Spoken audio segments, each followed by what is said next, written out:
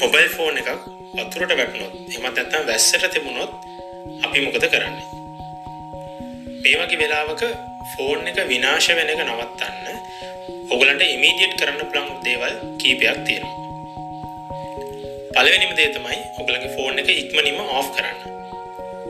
ඊළඟට ෆෝන් එකේ බැක්කව එක ගලවලා ෆෝන් එකට සම්බන්ධ සිම් එක ඒ වගේම මෙමරි කාඩ් එක ඉක්මනින් ගලවලා අයින් කරන්න.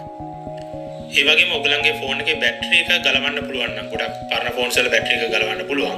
බැටරි ගලවන්න පුළුවන් නම් බැටරි එකත් ඉක්මනින්ම ගලවලා අයින් කරන්න.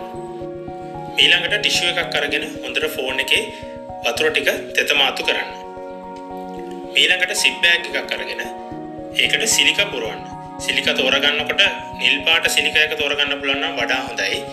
එහෙම නැත්නම් සුදු පාටයක වුණත් ගැටලුවක් නෑ. සිලිකා පුරවලා ඒකට ෆෝන් එක දාලා සිප් බෑග් එක හොඳට සීල් කරන්න. හැබැයි ෆෝන් එක දාදී නිකම්ම දාන්න එපා. මොකද සිලිකා ක්‍රිස්ටල්ස් ෆෝන් එකේ සිදුරු වල හිර වෙන්න පුළුවන්. ඒක නිසා ෆෝන් එක ටිෂු එකකින් කවර් කරලා සිප් බෑග් එකට දාලා වහලා තියන්න. ඉතින් මේක පැය 48ක්වත් තියන්න ඕනේ.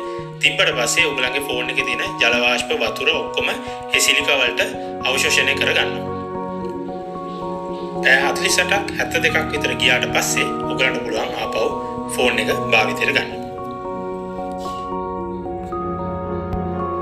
මේ කරුණු ඔයගලන්ට ප්‍රයෝජනවත් නම් අපේ channel එක follow කරන්න අමතක කරන්නත් එපා.